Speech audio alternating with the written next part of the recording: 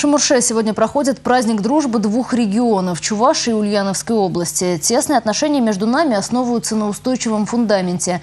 Первая чувашская школа была открыта именно в Симбирской губернии. И с тех пор культурные и духовные связи становятся все крепче. Праздник дружбы двух регионов начался в новом микрорайоне села Шамурша. Здесь недавно завершилось строительство многоквартирного дома. Среди счастливых новоселов семьи, проживавшие раньше в аварийных бараках. Но сейчас очень довольные. Очень хорошая квартира, однокомнатная, прямо все, все удобства. В ближайшее время в благоустроенные квартиры переедут еще 23 шамуршинские семьи. Для них в районном центре возводят новый дом. На сегодня мы переселили 40 семей из ветхого аварийного жилья новые добротные со всеми удобствами квартиры.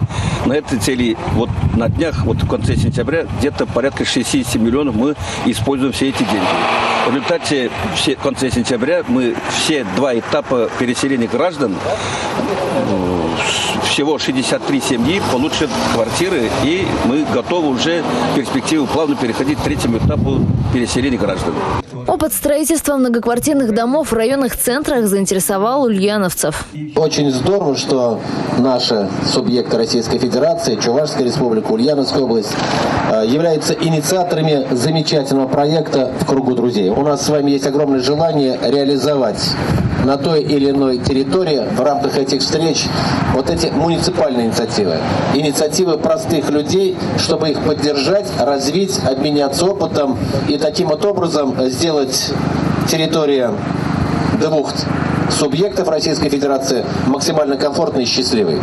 Руководители двух регионов приняли участие в открытии нового здания Центра социального обслуживания населения. Модернизацию подобных учреждений считают в республике приоритетной задачей. Открывается Центр обслуживания населения. Это практически вообще новый объект. И приехали посмотреть на самом деле, как выполняется государственная программа обслуживания старшего поколения, наших дорогих ветеранов.